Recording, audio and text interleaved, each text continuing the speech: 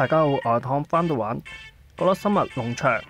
咁啊，首先睇翻公告啊，有活動休息一下，舉辦日期係一月廿一號至到一月廿八號。咁啊，活動獎勵一覽啊，見到呢有裝飾品啦，同埋頭像可以攞翻嘅。咁啊，另外仲有下載量突破一百萬啦。咁啊，指定日子啦，一月二十號至到二月三號期間裏邊登入，咁啊攞翻呢個紀念禮物。咁啊，同埋有優惠情報呢個課金 pad 嚟嘅。咁啊，慶祝呢個一百萬人突破感謝禮包，咁有 A、B、C 嘅禮包可以買。另外仲有泡泡溫泉服裝轉蛋。咁啊，一月二十號至到二月十號可以抽五位嘅角色。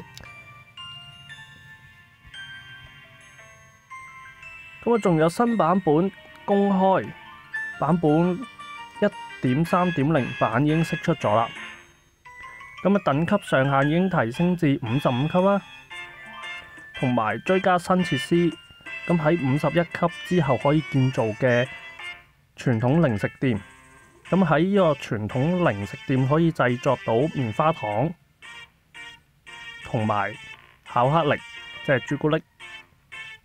咁啊，追加新農作物可可豆，咁喺五十四級之後就可以種植噶啦。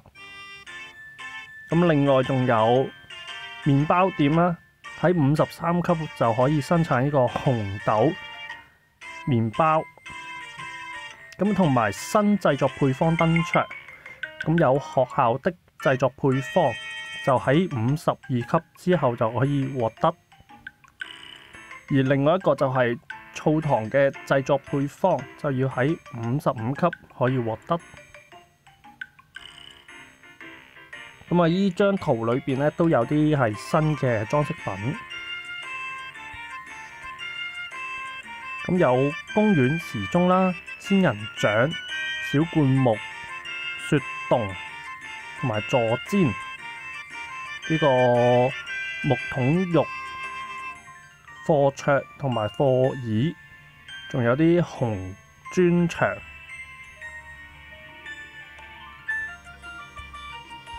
咁我睇埋個活動啦，休息一下活動。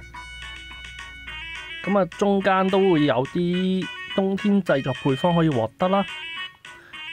咁啊，同埋角色頭像。一個嘅有，咁另外一個呢，就喺二千分，咁攞呢個炸豬扒同埋炸蝦尾一齊，咁二千九分呢，就可以獲得呢個暖桌，而稱號就喺三千分，咁有個喵，咁啊七千五百分就係。今次活動最後啦，